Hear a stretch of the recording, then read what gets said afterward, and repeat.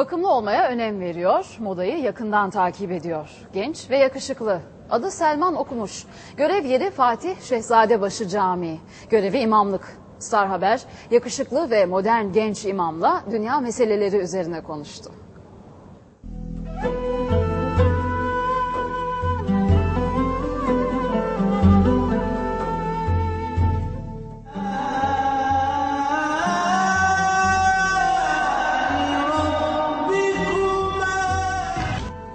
Onunla röportaj yapmak üzere görev yeri olan Şehzadebaşı Camii'ne geldiğimizde turistlerle konuşuyor, onlara caminin tarihçesi hakkında bilgi veriyordu. You came to the mosque for visiting. Yes. That's very nice. Bu caminin tarihçesini anlatır mısınız? Sorularıyla mecburen her gün karşılaştığımız için ben artık mahcup olmaktan e, üzülüyordum, sıkılıyordum.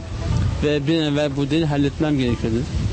Selman Okumuş Marmara Üniversitesi İlahiyat Fakültesi mezunu ama Diyanet İşleri Başkanlığı tarafından 1997 yılında imam kadrosuna alındıktan sonra bir de işletme tahsili yapmış.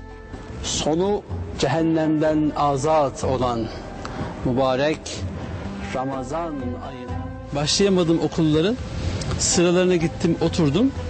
Ben seneye okul kaydımı buraya yaptırmış olacağım ama bu koltuklara önce bir oturmam lazım diye. Modayı takip ediyor, her zaman tertemiz ve bakımlı olmaya özen gösteriyor ve bunun yadırganacak bir şey olmadığını, çağımızın gereği olduğunu düşünüyor. Yaşadığınız topluma ayak uydurmak durumundasınız ve önder olacaksınız ve işin en iyisini yapmak durumundasınız. İstanbul'un ünlü aileleri düzenledikleri özel toplantılarda onun dua okumasını istiyor. Uluslararası bazı toplantılar bile onun okuduğu Kur'an-ı Kerim'le açılıyor. Peki bu kadar popüler bir imam olmaktan hiç rahatsızlık duyuyor mu? Evet, güzel bir duygu bir noktada insanların sizi tanıması. Aa bakın bu işte şu hafız.